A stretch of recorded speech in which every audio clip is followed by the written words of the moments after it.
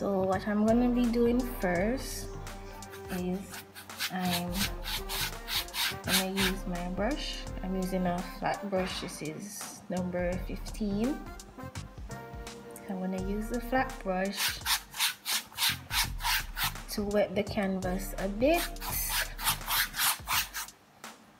So that the paint will be able to blend more better on the canvas.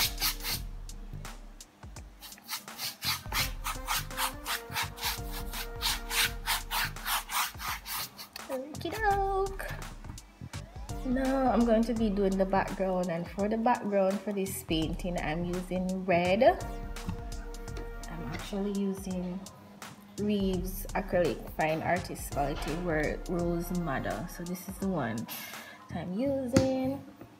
And I'm using titanium white and black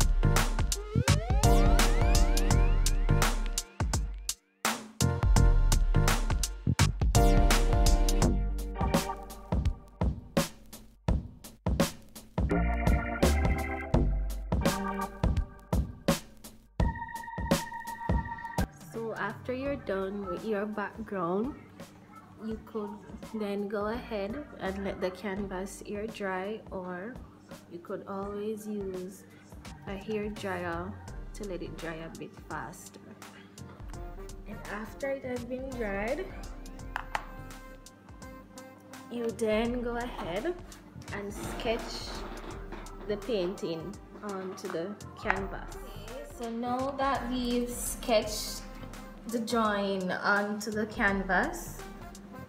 We're gonna do what i'm going to do now actually is i'm going to start with doing the face and the neck and the neck area first.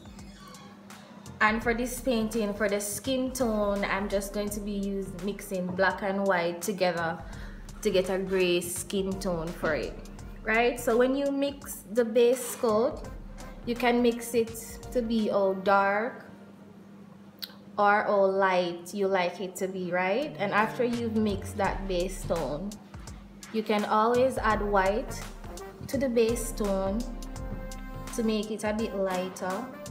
And that could also be used for highlights. And you, then you can always add black to it to make it darker to make the to do shadowing when doing when finishing up the skin tone